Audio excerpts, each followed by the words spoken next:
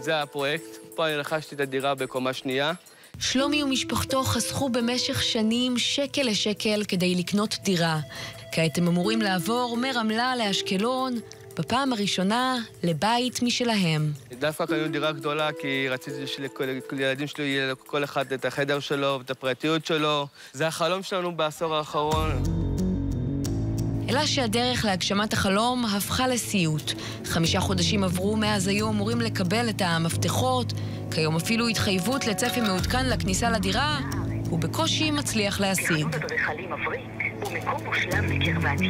שלום. יש משהו חדש לגבי מסירה בפרויקט אה, באשקלון?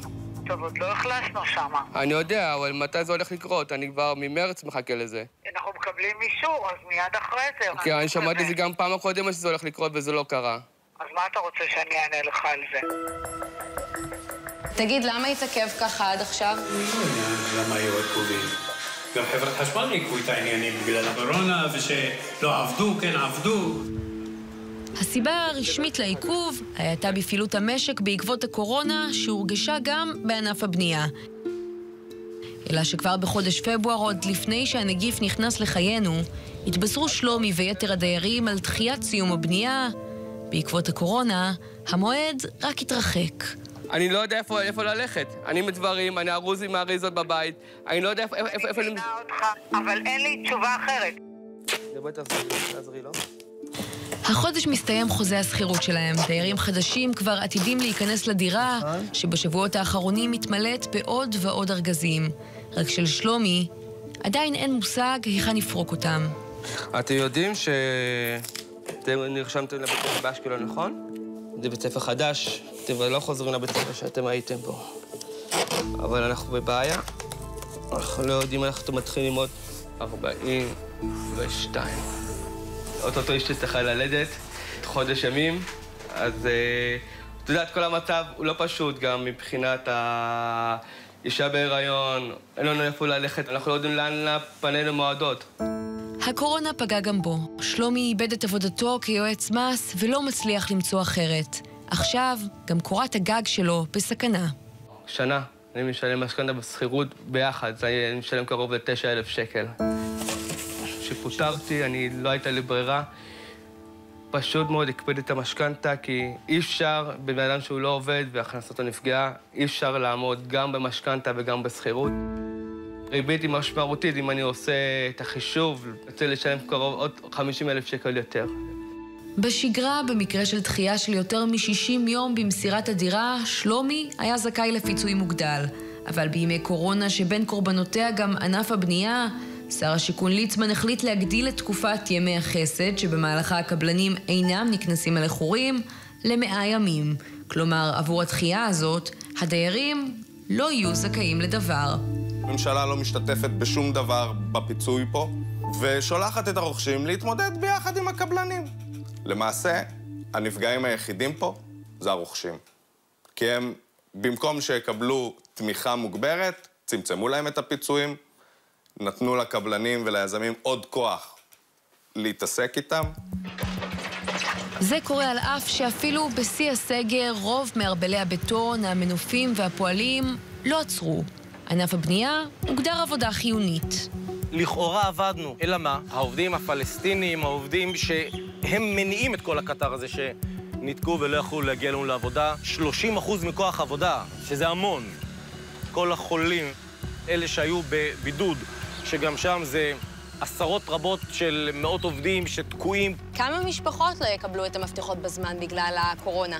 אנחנו מדברים על 30 אלף דיירים שיצטרכו להמתין בסבלנות יחד עם הענף הזה ולעבור את התקופה הזאת. על פי הערכות, 40% מעסקי הנדל"ן נחשבים כיום במשבר הקורונה לנתונים בקשיים, אבל לרוב עסקי הבנייה האלו יותר מ-6,000 נשקף סיכון גבוה עוד לפני כן. כלומר, הקורונה רק החמירה את המצב. אני האמת אה, מודאגת, כי הכסף שלי שמה. את זה מרגישה על בשרה גם סוזנה, שממתינה כבר שמונה חודשים למשרדים שרכשה באשדוד. אמור להיות אה, אה, סאונה, אה, אה, חדר כושר, אה, כל מיני דברים שיש גם בתמונה. אבל במציאות? במציאות כרגע אין לי מושג מה קורה בקומה השנייה. אף על פי שגם אצלה העיכובים החלו עוד לפני הקורונה, בחודש מאי התבשרה שכל עובדי חברת מיי אופיס שמנהלת את הפרויקט הוצאו לחופשה ללא תשלום. מאז, היא חושדת שהעבודות לא התחדשו. כל פעם שאני רוצה לבוא לראות אה, את ההתקדמות של המשרד, אי אפשר עכשיו קומה שנייה, כי יש איזה בעיה, עוד לא התחלנו, כן התחלנו. בקשותיה המרובות לבוא לראות את התקדמות הבנייה נענו פעם אחר פעם בסירוב. מצאתי את הכניסה. היי. כעת היא מעשה בה התירוצים וההתעלמויות, והחליטה להגיע בלי הזמנה. אם כן, זו פעם ראשונה נראית. רגע. זה ממש אתר בנייה. אז זהו, אז, אז זה צריך להיות ממש פה. הנה, זה המשרד שלי. זה ממש רחוק נראה. אם גל ראשון היה תירוץ, גל שני כרגע זה עומד. עיכוב של מעל שנה, שנה וחצי, ואני לא יודעת מה אני הולכת לקבל בינתיים. הכי מדאיג אותי שאין לי תשובות, שאני מתקשרת למשרד, לא חוזרים, אני רוצה לקבוע פגישה, לא חוזרים אליי. בתחילה היזמים עוד סיפקו תשובות לסימני השאלה והציעו פשרות. כך למשל זה נשמע בחודש מאי בפגישה בין סוזנה לעורכי הדין המשמשים כנאמנים של הפרויקט. חצי מהמוקשים לא עמדו בהתחייבות שלהם. את צריכה להחליט אחת משתיים, אוקיי? או שתיקחו את הכסף, מבטל את העסקה, אופציה ראשונה. אופציה שנייה, שאם לא מבטלים את העסקה, בואי תיכנסי לשטח הזה כדי שתביאי את זה יותר מהר, אני לא רוצה למשוך את האנשים. בסדר, אז צריך לטפל בזה, שאני אקבל פיצויים גם בינתיים. את צריכה להחליט מה את רוצה לעשות. אבל מאז, כשניסתה לממש את האפשרויות שהוצעו לה, הפסיקה לקבל מהם מענה. אולי הוא יענה. מקווה. תפוס. בואי ננסה להתקשר למספר שהם לא מכירים. אני כתבת של כאן 11, לידי נמצאת אה, סוזנה גרונר. אני רוצה לדעת פשוט מתי הצפי סיום של המשרדים בקומה שנייה, איפה שאני רכשתי. אני באמצע הישיבה, אני אחזור, את יכולה לדבר איתי בעוד שעה. רק לאחר הפנייה הזו שלנו קבע הנאמן פגישה עם סוזנה. תגובת מיי אופיס טרם התקבלה. ובכל זאת נראה שאפשר גם אחרת. הסדר עדיפויות שלנו הוא א' כל למסור בזמן, ואחר כך כל השאר. במיזם המגורים הזה למשל, בדרום הארץ, אמורים להתחיל למסור את הדירות בעוד חצי שנה, ומבטיחים שעד אז יצליחו לצמצם את הפערים. יש לי מגבלות, אני פשוט עובר אותם. עובר אותם ב- בתוספת כסף מהצד שלנו, ביצירתיות, ב- בתפעול של אנשים בשעות לא שעות. לא כולם יהיו חדרמי שיש להם את היכולת אפילו לקחת קבוצה של רצפים מאתר אחר, שאין לו בעיה של לוחות זמנים, ולהביא אותו לאתר כזה. לא כולם חווים את אותו קושי.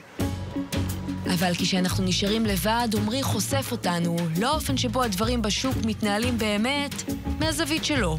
אני חושב שזה כן יעזור למי שתקוע. אני מאמין שגם כאלו שלא ממש היו תקועים, אלא ירכבו על זה ויקחו את התוספת הזו. היום כולם עובדים. לא, לא חוכמה לנצל את זה ולהפיל את זה על הזוגות הצעירים. אנחנו בישראל, את יודעת, אנשים מנצלים את מה שאפשר בשביל להרוויח יותר. למרות שבמשרד השיכון ניסו לחלק את הנטל באופן שווה בין רוכשי הדירות לקבלנים, נראה שהסבלנות שנדרשת מסוזנה, שלומי ועוד עשרות אלפי ישראלים, תעלה להם לא רק בזמן, אלא גם בהרבה כסף. יש לי אלף ואחת אה, סיבות ללחץ.